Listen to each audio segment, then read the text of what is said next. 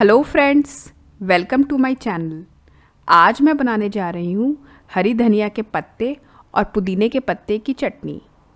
तो चलिए इसे बनाते हैं। यहाँ मैंने एक जार में एक मीडियम साइज़ के प्याज को चॉप करके डाल दिया है। इसके बाद मैं इसमें एक इंच अदरक और पाँच से सात लहसुन की कलियाँ डाल दूँगी।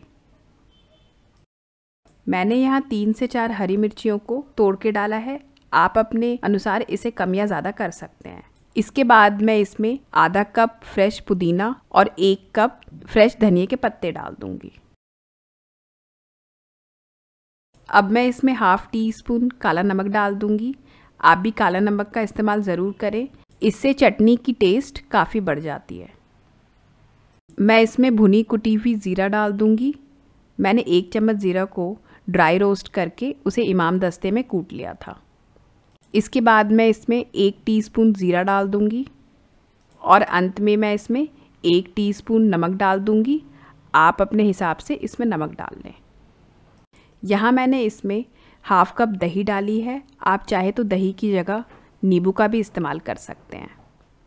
मुझे चटनी थोड़ी पतली चाहिए, इसलिए मैं इसमें दो से तीन चम्मच पानी डाल दूँगी और इसे पीस लूँगी। देखिए मेरे परफेक्ट पुदीने व धनिया की चटनी तैयार है। आप इसे समोसे ब्रेड पकौड़े, कचौड़ी किसी के साथ भी खाएँ, ये सबके टेस्ट को काफ़ी बढ़ा देती है।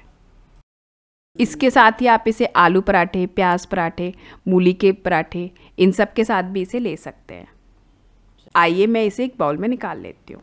आप इस चटनी को ज़रूर ट्राई करें और मुझे कमेंट सेक्शन में लिख के बताएँ कि ये चटनी आपको कैसी लगी।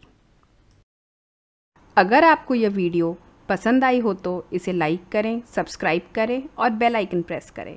इसे अपने दोस्तों के साथ शेयर करें ताकि वो भी इस लजीज़ रेसिपी का आनंद उठा सकें।